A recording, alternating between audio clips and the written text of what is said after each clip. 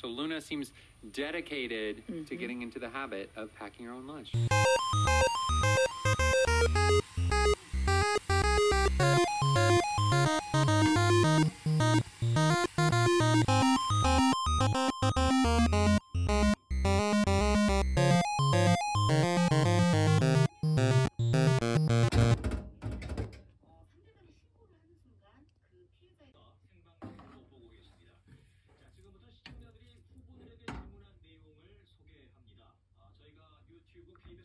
계정으로 이재명 후보에게 질문하고 싶은 내용을 받았는데요.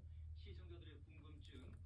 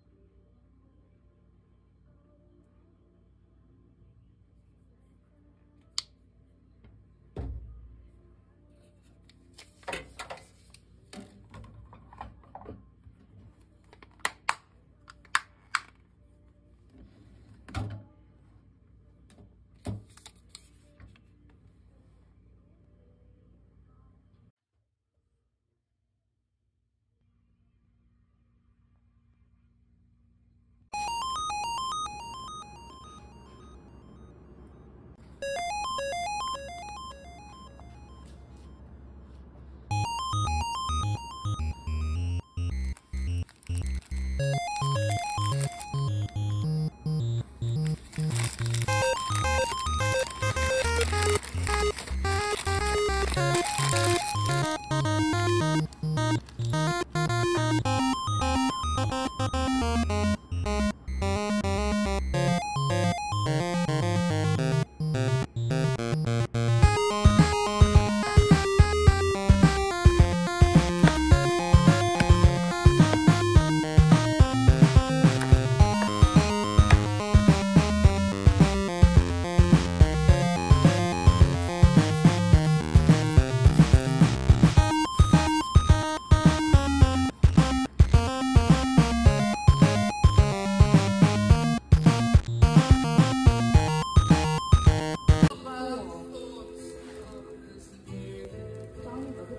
맞아요.